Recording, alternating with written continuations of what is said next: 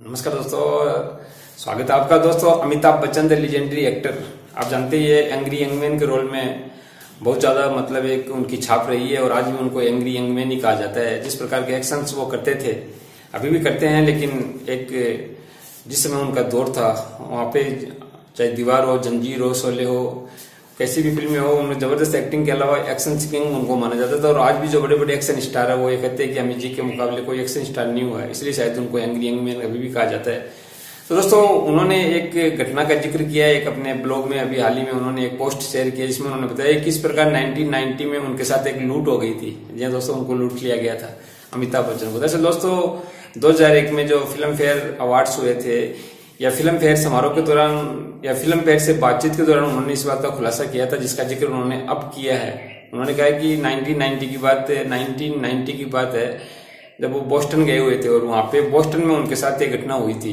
Boston में वो किसी होटल में ठहरे हुए थे और वहाँ पर जब वे होटल से बाहर आ रहे थे तो चार पाँच लोग थे जिनके हाथों में गन थी और पहले उन्होंने क्या किया कि उनके जो सूट है, उनके जो कपड़े उन्होंने पहने हुए थे तो उसके ऊपर कुछ लगा दिया था, कुछ गंदगी वगैरह, कुछ मतलब मेला वगैरह बोलते जिसको कुछ स्प्रे वगैरह डाल दिया था, और फिर उसको साफ़ करने के बहाने उन्होंने अमिताभ बच्चन सर को लूट लिया था, और उनके हाँ उनके पास जो ब्रीफ केस था ब्रीफ केस में उनका पासपोर्ट था, कोई ज़रूरी डॉक्यूमेंट थे, कागज़ थे, पैसे भी थे तो काफ़ी चीज़ें थी, काफ़ी इंपोर्टेंट चीज़ें, उसको लूट करके वो ले गए थे, और अमिताभ बच्चन बिल्कुल चकित रह गए थे कि यहाँ विदेशों में भी इस प्रकार की मतलब जैसे एक लूट इस तरह से अंजाम दी जा सकती है क्या? और उससे पहले आपको बता दूँ कि अभिषेक बच्चन भी बोस्टन में पढ़े हुए हैं, वहाँ पे स्टडी उन्होंने की हुई है। तो अब वो किस सिलसिले में गए थे? किसी शूटिंग के सिलसिले में गए थे या इन सारी बातों का तो उन्होंने खुलासा नहीं किया और बाद में क्या वो सारी चीज़ें रिकवर हो पाई या नहीं हो पाई, इसके बारे में भी उन्होंने ज़्यादा जानकारी नहीं दी है।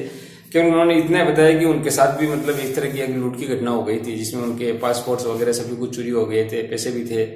और काफ़ी इंपॉर्टेंट डॉक्यूमेंट्स भी थे। तो इस तरह की घटना का उन्होंने खुद ज़िक्र किया है। और लोगों को काफ़ी अचंभा हुआ था कि अमिताभ बच्चन जैसे बड़े स्टार के साथ मतलब इस तरह की घटना हो गई है। तो किसी के साथ भी कुछ भी हो सकता है। दोस्तों, जब मौका मिलता है तो ये जो बदमाश लोग होते हैं, किसी को छोड़ते नहीं है। फ़िलहाल इतना ही। आपको न्यूज़ कैसे बताइएगा। और चैनल पर नए हैं तो चैनल को सब्सक्राइब कर लीजिएगा। धन्यवाद दोस्तों। टेक केयर जय श्री राम। जय